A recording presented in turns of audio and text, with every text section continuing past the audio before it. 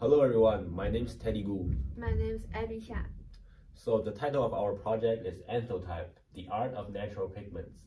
So our our experiment is basically extracting the natural pigments in flowers, leaves, and berries, and uh, using these pigments to make prints.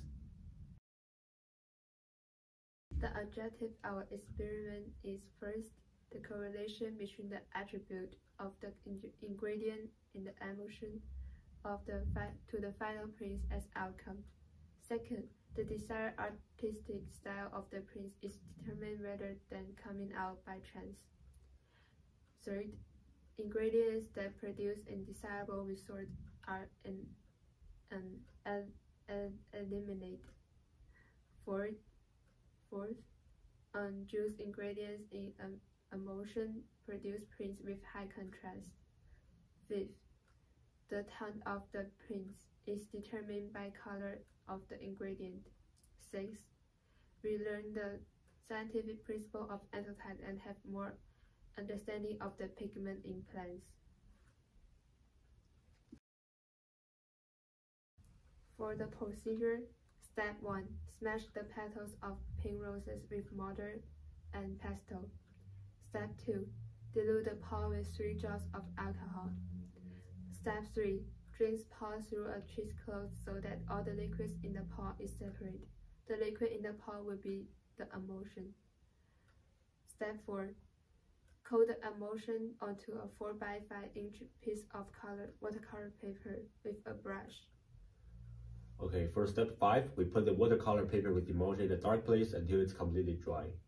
For number uh, for step 6, we place a leaf of Camellia japonica and the leaves of jacaranda onto watercolor paper inside a frame.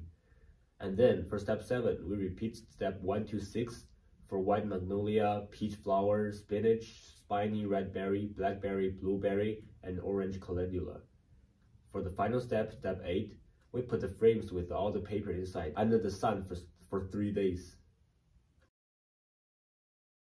Alright, after the experiment, we got our results ready. First of all, we found out that the pigments in, the, in pink rose, peach flower, and spiny red berries get darker upon exposure of the sun.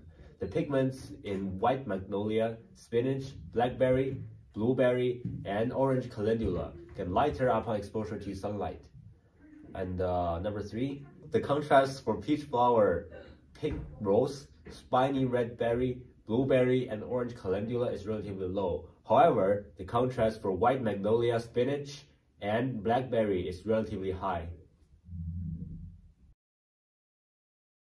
Based on our results, we conclude that the contrast of the print correlates to the juice content. Also, the tone of the print is determined by the color of ingredients.